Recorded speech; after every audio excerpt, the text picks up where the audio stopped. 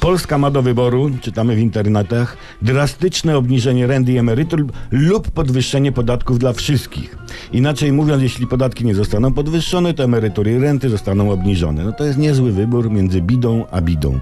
Bo słuchajcie, problem jest w tym, że ludzie chcą godnie żyć na emeryturze. Takie lewackie nieporozumienie. I w wyniku tego nieporozumienia pojawiły się pod artykułem nieprzemyślane komentarze, o choćby taki. Jak mogą drastycznie obniżyć emerytury, które w większości wynoszą 2000 zł? Gadanina. Jak to nie można drastycznie obniżyć? Można, na przykład do 800 zł. Jest drastyczna obniżka? Jest. My nie obniżymy? My? A kto bogatemu zabroni? Władza zrobi dla nas wszystko, żeby udowodnić, że się da.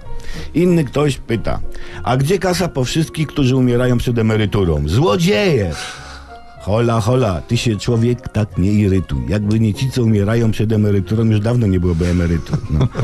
Ale słuchajcie, jest sposób na poprawienie systemu emerytalnego.